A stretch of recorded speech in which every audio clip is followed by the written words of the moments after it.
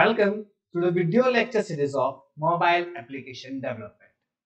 Students, in our previous session we talked about that how can we add a fragment as well as how the backstack method works.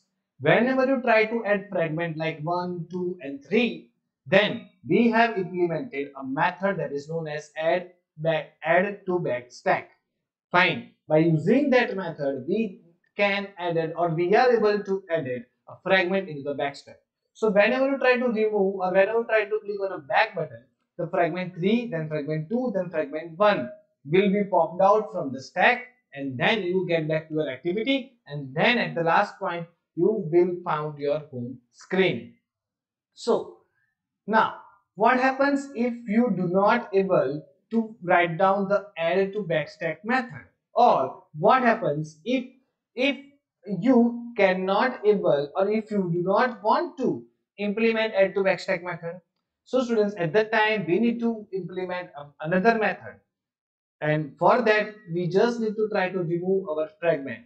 So let's see how can we remove the fragments without using backstack hi this is your instructor Janice Shah so let's begin with today's topic. Today we are going to see two different things. Number one is how can we remove the fragments and number two is how can we replace the fragments. So what is the difference between exactly the remove and the replacement?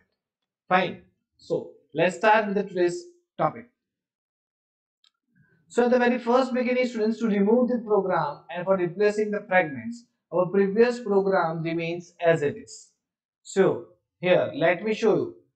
See here our previous code is remains as it is. Whatever we have seen that what we did in the previous session we created a three different fragments for example fragment 1 2 and 3 then according to it we have our xml files for that. Then in activity main.java file students we write to code to add the fragment. We use fragment manager we use fragment transaction so with the usage of fragment manager students, we have created fragment transaction object and fragment transaction we need to call add to backstack method. At such like this, we use of add fragment in backstack. Now, what we need to do, we just need to change a code to remove the fragment as well as we just need to implement a method which is known as on back button pressed. Fine. So these are the two different methods that we need to focus on. Number one is to write down a code to remove the fragment. Okay, so when you try to remove the fragment, right now we are not going to implement the next backstack method. That's why the add fragment method code will be changed. Okay, so if you have your laptop open up, then you have already done the previous code. So now it now you just need to comment your code which is known as add fragment method. We are going to implement a new add fragment method for this.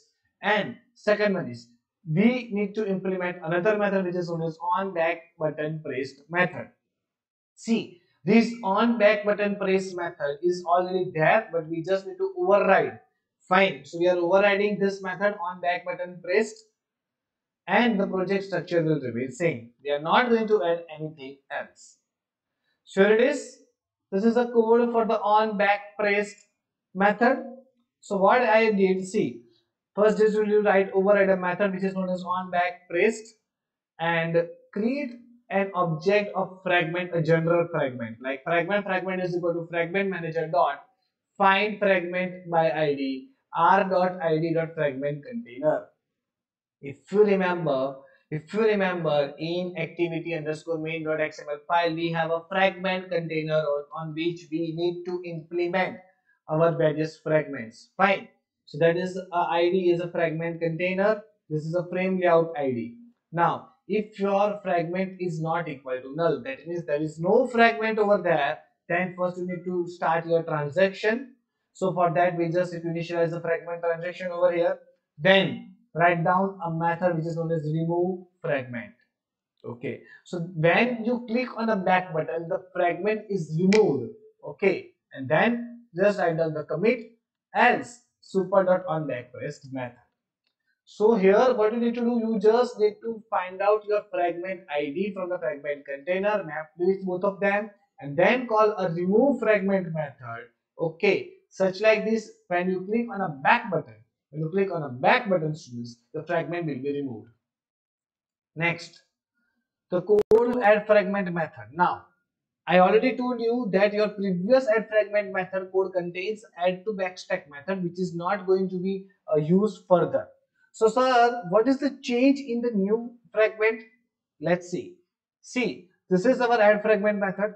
In the previous session, what we did, we just created a switch case and according to switch case, we take fragment 1, 2 or 3. Now, right now students, the same like that we have created a if and else blocks what I take, I just take uh, initialize object of a fragment. This is a general fragment class. Then get map a fragment with a fragment container. Okay, so map the ID of the fragment with the fragment container. Now I'm going to check that if if this fragment is object of sample fragment 1, then it becomes the object of sample fragment 2. Obviously, if if you are on a fragment number 1 screen, then you need to show fragment number 2 screen. So what you need to check if if if this container, if this container contains a fragment, if this container contains a fragment of 1, sample fragment 1, that means if object is sample fragment 1, then we need to implement or we need to add another fragment with the object fragment number 2. Same like that, else if, if it's a code of sample fragment 2, then we just need to add up sample fragment 3 else if, if we, it has the sample fragment 3 then we need to implement sample fragment 1 and else same like the previous one. In a default case we just need to implement sample fragment 1 itself. So sir is there anything changed? No change. See this stanza is changed and this stanza is also changed. Why? Because here in this particular coding part I did not implement a method which is known as add to backstack because this is not a backstack. Fine. So here if the fragment transaction created an object of fragment transaction, call a method add pass a container comma object. See instead of passing a specific object, I'm just going to pass a simple general fragment object.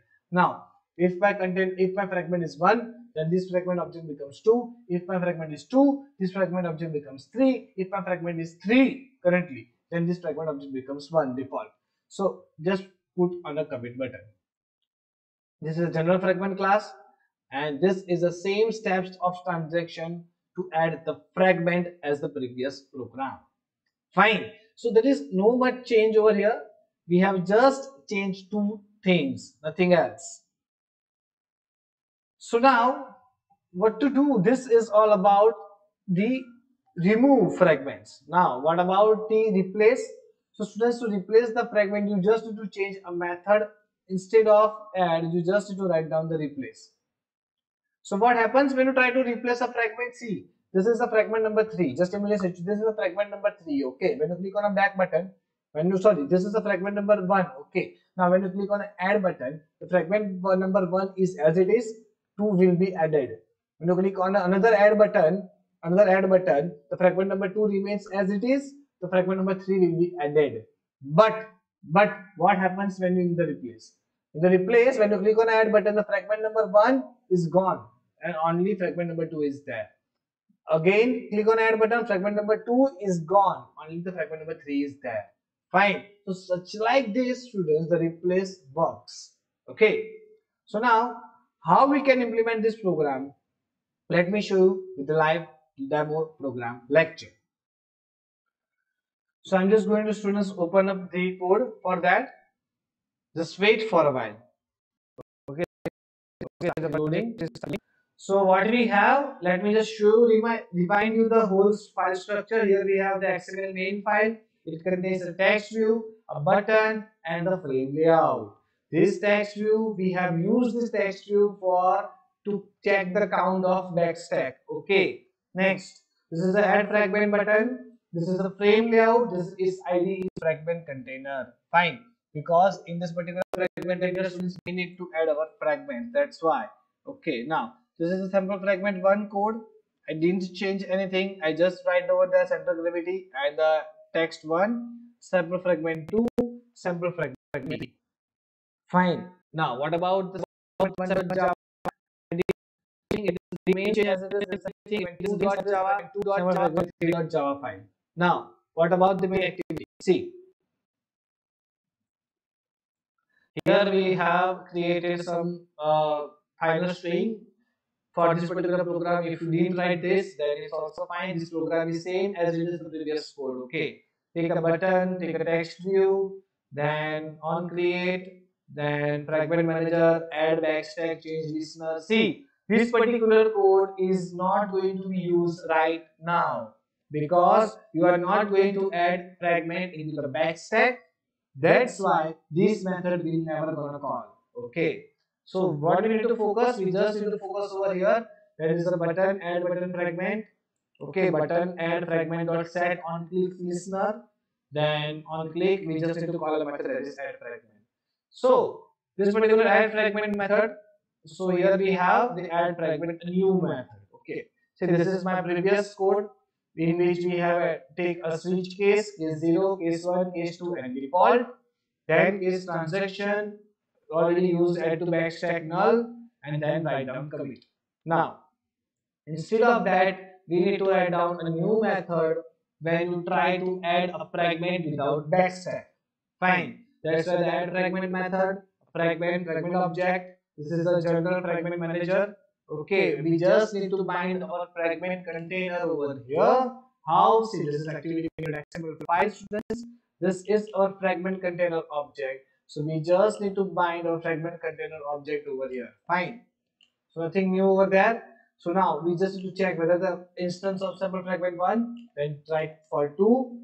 Else if if it is two, go for three. Else if it is three, then go for one. Default case is also one. This code remains as it is. Instead of replace I'm just need to call a method that is known as add fragment method. Now what to do? So so this is the code for the removing the fragments. We just need to implement uh, on back pressed method. So fragment fragment is equal to fragment manager. First need to again need to uh, mapping the xml id with the new fragment object in the java file if it's not null then start the transaction, remove the fragment and just complete the transaction by calling the commit method. Fine. So else super dot on back pressed method is called. So students now I'm going to show the replacement and the removing both of both fragments live. Okay. So for that I just need to mirror my screens and my camera gets off. So do not worry I'm still here. Okay. So let me run this particular code. Okay students let me run this particular code. So here it is. My application is going to start in a very soon. Okay students so the application is just going to install soon. So let me just uh, install it. Uh, this process is still going on. Just wait for a minute. Okay so finally your application is launched successfully. See now when i'm going to click on the add fragment button my backstack count is going to be increased or not. Quickly students just tell me whenever I'm going to click on add fragment button, is my fragment backstack count is going to be increased or not? Just tell me. Yes or no? No. Why? Because we are not going to add a fragment in a backstack. Okay. So when I click on the add fragment button, fragment 1 is successfully added over here students. Fine. When I click on again on add fragment button, fragment number 2 is added. So when I click on a back button, first we get back to 1, then we get back to activity screen. So now you may surprise that sir, here we didn't use the back stack. Then how about the 1, the 2 will be added? Because students we call the add fragment method. See here the add method. Fine. Now when we talk about the removing the fragment, so whenever we click on a back button, whenever we click on a back button the whole fragment will be removed but the previous fragment is still there. So only the fragment which is added the last is only removed. Okay. So when i click on add fragment button one is added two is added three is added. Now again when i click on add fragment button so it will call the fragment number one is a by default.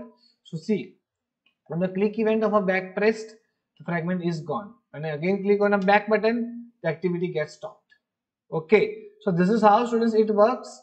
So now again let me click on the application. It will run. So here it is one. Click on a back button. It's activity screen. Now it's a home screen. Fine. This is how students you can use the add fragment method and you can do the remove fragment. Whenever we click on a back button, you just need to for removing the fragment, you just need to implement the on back pressed method. Now, how to check the replace? So I just need to go to click on the replace instead of over this. Okay, this is my replace method. Let me run this activity again. So now just wait for a few minutes. The activity will uh, run and we can able to see the output so it is asking me for the terminate the currently ongoing process yes i'm going to i want to terminate it now just wait for a minute students so finally my new activity the new application is launched now when i click on add fragment button the fragment one is added. When i click on a back button that it is on activity screen. So you may wonder that sir there is no change. It's the same as the previous one. Wait wait wait for a minute students. Let me show it again. See add fragment button 1 add fragment 2 add fragment 3 now in the previous one when i click on a back button it, it, it should show me the 2 but this is a replacement. This is a replace method. That means it must show directly the activity screen. See here it is.